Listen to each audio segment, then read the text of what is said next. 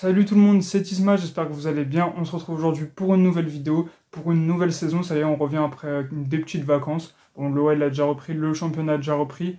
Mais nous, on reprend doucement maintenant, donc ce sera une grosse vidéo. On commencera avec le match contre Rennes et les pronostics pour la saison.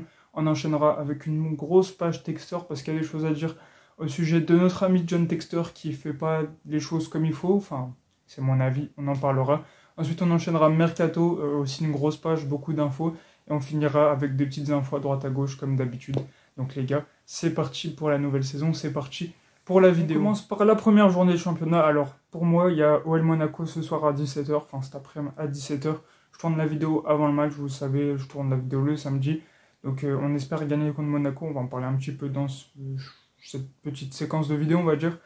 Et on verra ce que ça donne, on verra pour ce soir. J'espère qu'on va gagner, même si ça va être très compliqué. Alors du coup, pour euh, le déplacement au Roison Park à Rennes, les gars, on s'est fait étrier 3-0, une vraie leçon de football. Alors on a eu par séquence euh, la possession de balle, certes, mais dans le jeu, on n'a proposé rien, on se faisait transpercer déjà. Euh, là, on avait des certitudes en début de saison, bah ça s'est effondré. Je pense notamment à la défense. Les deux premiers buts évitables, but contre son camp de Matic sur un coup franc, avec un peu plus de concentration, peut-être qu'on n'aurait pas pris ce but, c'est pas sûr, mais peut-être. Ensuite, le deuxième but de Niakate qui fait une erreur de, de joueur d'académie, de joueur en U15, U17, pas plus. Franchement, on voit qu'il y a Amin qui sent le coup venir. En plus, Amin Gouiri qui monte, il voit Niakate qui a Gouiri, il fait quand même la passe à, à Perry, sauf que bah, ça finit dans les pieds de Gouiri, qui va effacer Perry en face à face. D'ailleurs, Amin Gouiri aura célébré, et ça, franchement, euh, c'est pas fou, ancien lyonnais. Donc, euh, pour, pour parler un peu plus du jeu, défensivement, on a été claqué. Alors Niakate, on peut dire la pression du premier match, l'adaptation, pas de problème, on va pas juger les, individualités, sur un seul match, même s'il a fait une erreur, certes. Parce qu'en première ligue, il nous a habitués quand même à mieux. Il ne vaut pas les 30 millions d'euros, mais il nous a habitués à mieux. Il n'a pas fait d'erreur comme ça dans toute sa saison. Franchement, c'est quand même assez bizarre, mais on va pas rejeter la faute sur lui parce que là, on a eu un collectif vraiment mauvais. Ensuite, au milieu de terrain, on va prendre aussi cette ligne par exemple, c'était catastrophique on se faisait transpercer, euh, ils passaient de leur surface limite à la nôtre, j'exagère évidemment, en deux passes. Mais en passant par le milieu de terrain, vraiment, on avait trois plots qu'a Matic et Mangala. Mangala inexistant, créé a fait du mieux qu'il pouvait. Malheureusement, euh, ça n'a pas, été fou. Et Matic n'a pas fait un grand match. C'était compliqué dans le secteur de jeu. On se faisait transpercer de tous les côtés. Euh, aucun pressing à la récupération aucun, aucune relance. En fait, on n'allait pas toucher nos attaquants. On essayait tant bien que mal, mais des fois ça finissait dans les pieds adverses, ou alors on refaisait un tour. On perdait du temps justement à, faire une possession. Je ne sais pas quelles ont été les consignes, mais il manquait clairement de rythme et de création. D'ailleurs, il n'y a pas eu d'occasion dans ce match, vraiment. Mandanda n'a pas été inquiété, puisque justement on n'a pas ce profil du milieu de terrain qui nous permet donc euh, d'avoir des offensifs euh, dans les bonnes conditions et de pouvoir prendre des frappes, ce qu'on n'a pas fait. D'ailleurs, Mikotadze a loupé un penalty, on ne remet pas la faute sur lui, évidemment. Il loupe rarement des penalties, c'est la pression de son premier match sur les couleurs lyonnaises. Il aurait pu certes relancer son équipe, c'était un penalty important, mais on va pas lui en vouloir, parce que de toute façon, je suis pas sûr que, ouais, si quand même, ça aurait pu changer la physionomie du match, mais c'est pas de sa faute, tout le monde loupe des penalties. Euh, Mandanda a bien plongé, il n'était pas excellemment tiré, je ne sais même pas si français excellemment. Mais en tout cas, voilà pour le match face à Rennes. On s'est fait étrier 3-0 et contre Monaco, va falloir élever son niveau de jeu, sinon on va en prendre 5. Parce que Monaco, c'est très fort, ça a des grosses ambitions cette saison, ils veulent aller titiller le PSG. Donc nous, va falloir faire une bonne copie avec euh, un Groupama Stadium presque à guichet fermé. Donc ça, c'est la bonne nouvelle pour ce retour euh, à Lyon. Ça fait plaisir. Donc va falloir faire un peu mieux. Mon prono pour la saison prochaine, pour cette saison du coup, je pense, après de très longues études, qu'on va finir entre la quatrième place et la sixième place. Alors c'est assez large parce que, en fait, je m'explique. Si le milieu de terrain affiche ce niveau-là, si la défense euh, affiche ce niveau-là, même si je m'inquiète pas trop pour la défense, je m'inquiète plus pour le milieu de terrain, je pense que ça va être compliqué. Parce que, en tout cas, en première partie de saison, ça va être difficile de jouer avec trois milieux de terrain qui sont très peu efficaces, qui pressent pas, qui n'apportent rien offensivement, ça risque d'être difficile de marquer des buts. Ça, c'est sûr et certain. En plus, nos, offensifs n'ont pas un rendement fou. Je milite pour que Malik Fofana soit titulaire ce soir contre, euh, Monaco. J'espère que ça sera le cas. Parce que franchement, il a un potentiel de fou. C'est le meilleur lyonnais de, tout le match contre Rennes, alors qu'il est rentré en jeu à la 70e minute à peu près. franchement, le premier ballon, il provoque un penalty, c'est vraiment très fort, Fofana. Il faut qu'on le garde à tout prix, on s'en en parlera pendant le mercato. Mais je pense qu'il faut qu'il soit titulaire parce qu'il fait beaucoup de différence. Et aux côtés de la casette, qu'on ne sait pas s'il sera titulaire ce soir contre Monaco d'ailleurs, je pense que ça peut faire des choses assez bien en vrai. Déjà pour, pour Fofana, du coup, je pense entre la quatrième et la sixième place. En attendant le mercato d'hiver, je pense que ça sera une première saison assez difficile. Je pense qu'on finira peut-être autour de la huitième place, la neuvième place, qu'on fera un mauvais début de saison, certes, mais en tout cas, euh, je pense qu'on va se rattraper sur la deuxième partie de saison avec l'arrivée notamment euh, d'un créatif Thiago Almada qui pourra faire du bien. Après, l'adaptation risque d'être compliquée. C'est un joueur qui vient du continent américain. Euh, on sait que dans les championnats européens et notamment français, c'est plus difficile de par le physique du championnat. Enfin, euh, c'est plus physique de jouer en France qu'au Brésil ou qu'aux États-Unis. Donc on verra ce que ça donne, mais je pense qu'il a un profil assez intéressant, Thiago Almada, qui pourra faire du bien à l'entrejeu lyonnais. Voilà pourquoi je pense qu'on va finir sixième. On va galérer en première partie de saison, ça ira mieux peut-être ensuite, mais ce sera en, plus petit... Euh, enfin, ce sera un peu comme la saison dernière, du moins la dynamique. J'espère qu'on va pas passer d'un extrême à l'autre, qu'on va pas vivre les mêmes émotions, parce que ça, nous a tous tués. Donc euh, voilà pour cette petite partie pronostic. J'ai hâte de savoir ce que vous, pensez de la saison lyonnaise. Vous pensez que ça va se finir comment? Est-ce qu'on va jouer la Ligue des Champions, la Ligue Europa? Est-ce qu'on va aller en Coupe d'Europe même? Est-ce que ça va être difficile? On va lutter pour le maintien? J'espère pas. Donc j'attends, euh, j'attends vos commentaires avec impatience les gars. On va passer à la page John Textor. C'est parti pour Textor. Juste avant, j'ai oublié de dire que cette défaite 3-0 en première journée de championnat, c'est notre plus lourde défaite pour euh, une ouverture de campagne depuis 1954, soit 70 ans ça montre quand même qu'on s'est fait défoncer. Bref, maintenant John Textor. Les gars, j'ai l'impression qu'il fait n'importe quoi Textor en ce moment. Déjà, il veut racheter Everton et vendre ses parts Crystal Palace. Euh, de Crystal Palace pour euh, justement acheter Everton ensuite. Ça lui prend déjà beaucoup de temps personnel, je pense, ce qui l'empêche d'avoir du temps pour l'Olympique lyonnais. Autre chose, euh, il met de l'argent dans Everton alors que nous, on a besoin d'argent, on a besoin de liquidité. Ça aussi, je comprends pas. Il faut qu'il se concentre sur les clubs qu'il a au lieu de faire une galaxie, une multipropriété énorme. Alors déjà, j'aime pas euh, ce, concept dans le foot. Alors s'il l'étend de plus en plus, de la plus s'occuper de ses clubs, ça va pas le faire, je pense. Euh, ensuite, John Textor, il a démenti sur son Instagram qu'on devait 100 millions d'euros, enfin qu'on devait vendre pour 100 millions d'euros. Alors ça me paraît quand même bizarre puisque tous les journalistes, même les plus crédibles, ont avancé cette théorie qu'on devait vendre pour 100 millions d'euros à la DNCG. Admettons que c'est pas le cas on doit quand même euh, avoir beaucoup, beaucoup, beaucoup de liquidités. Il nous faut de l'argent, on est en problème financier, tout ça parce que John Textor, justement, euh, paye trop cher des, joueurs qui, appartiennent à ses amis en Angleterre. Je pense notamment à Niakate, par exemple, qu'on paye plus de 30 millions d'euros pour un joueur qui en vaut une quinzaine, une vingtaine maximum. maximum. C'est pas normal. On fait des promesses irréalisables à la DNCG, on achète à des prix exorbitants qui n'ont pas lieu d'être, et après, on, se dit qu'il nous faut un effectif compétitif. L'objectif, c'est la LDC cette année. On cherche à se qualifier pour la Ligue des Champions. Et on enlève tellement de qualité à l'effectif, on veut vendre tellement de joueurs. Justement, par ces promesses irréalisables et par euh, ces, soucis financiers, euh, il en découle plein de problèmes. Alors, vous avez sûrement vu l'affaire Mikotadze, comme quoi on aurait manqué inversement euh, de, de, son transfert à Metz. C'est un, de nos premiers problèmes financiers. Autre chose qui vient d'être sortie tout récemment, on ne payerait pas de primes, enfin, dans toute mesure.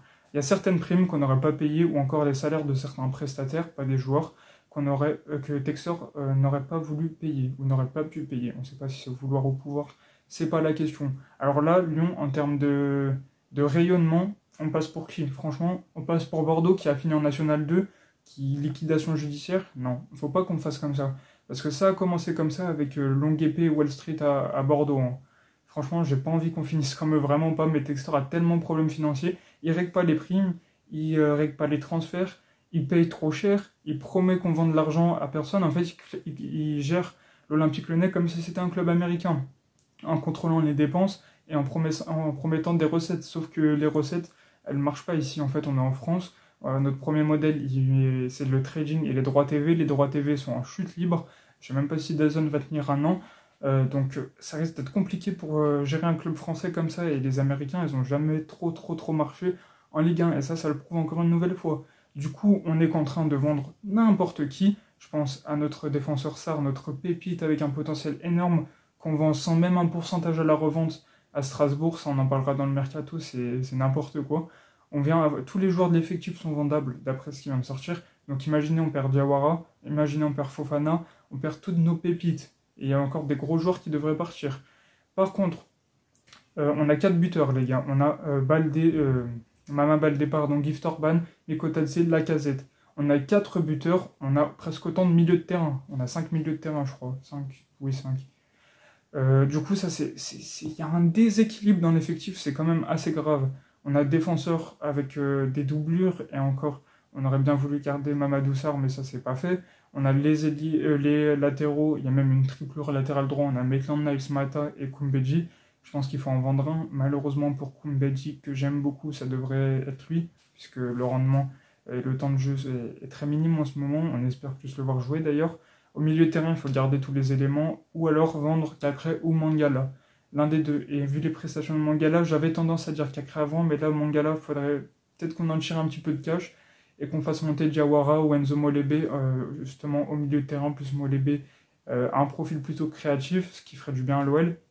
Ensuite, les ailiers, euh, on a Fofana, Benrama, Nouama sur les côtés, si j'oublie personne et j'ai l'impression d'oublier personne.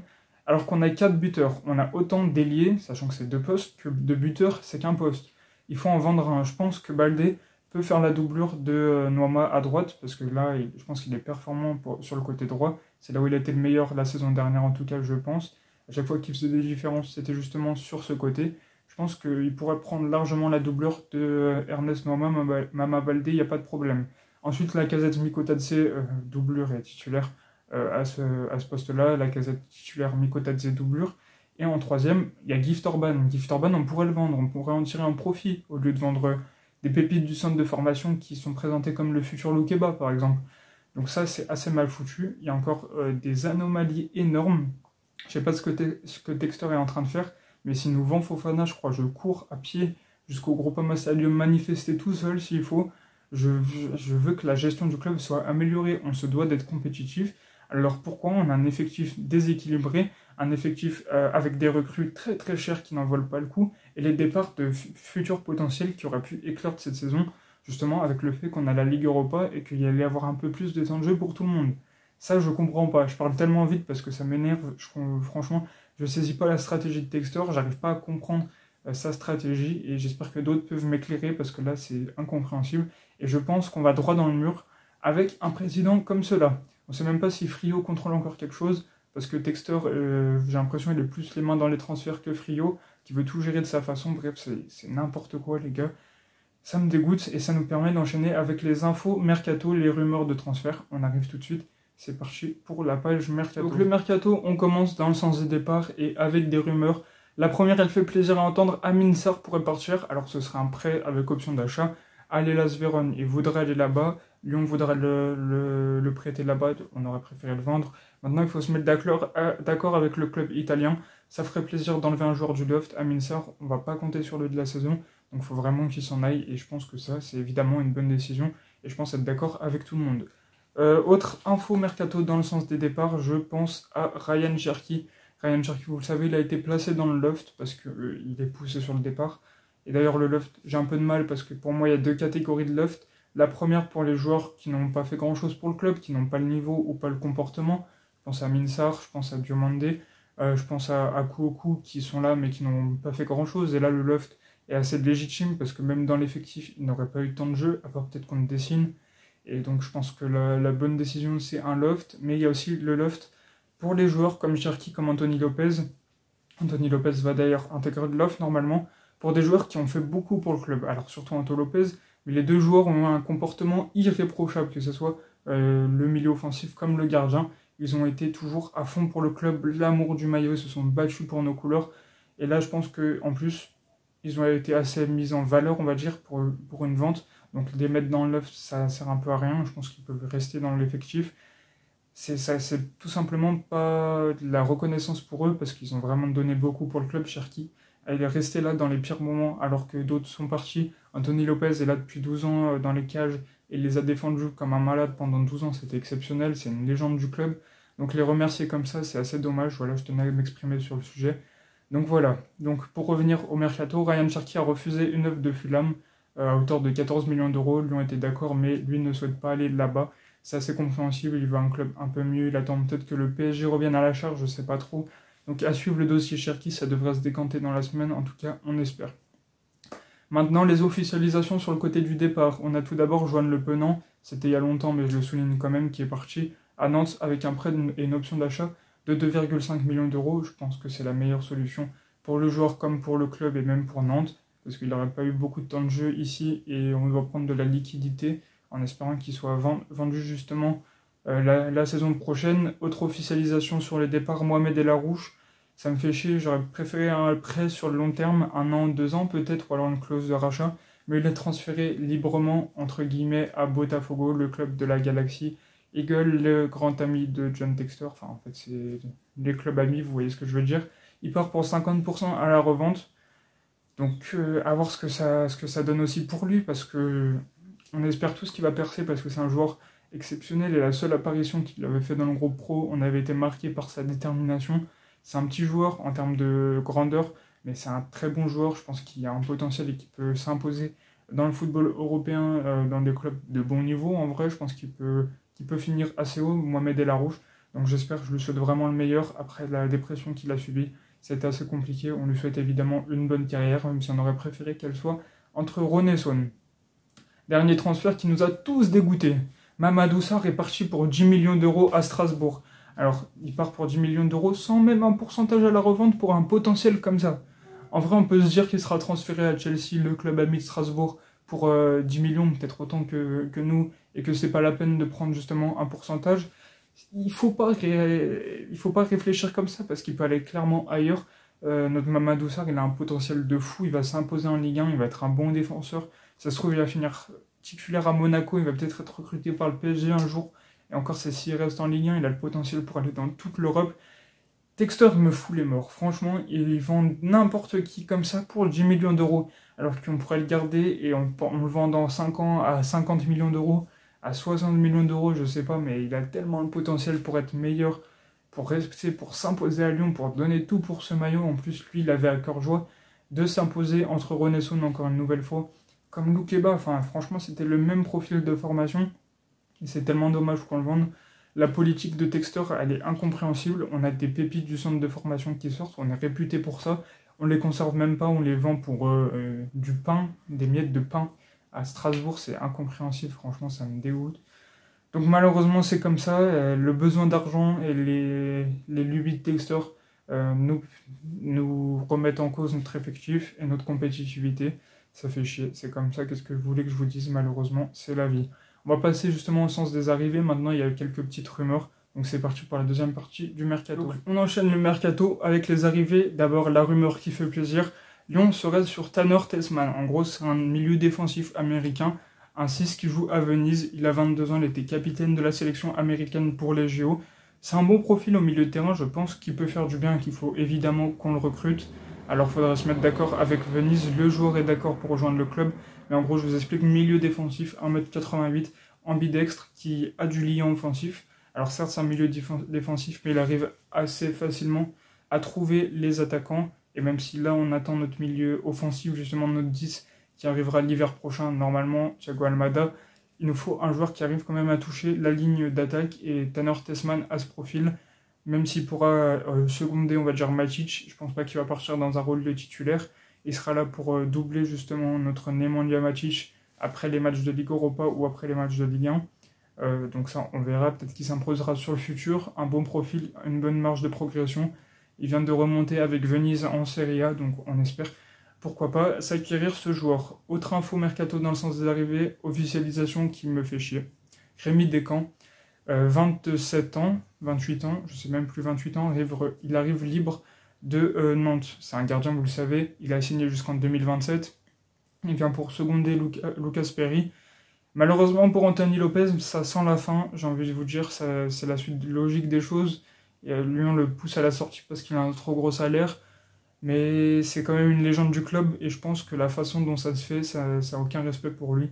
On lui doit tellement de joueurs, il nous a sauvé tellement de situations, il nous a qualifié tellement de fois pour des compétitions européennes, pour des, des matchs, pour des finales en Coupe de France et tout les, les saisons passées.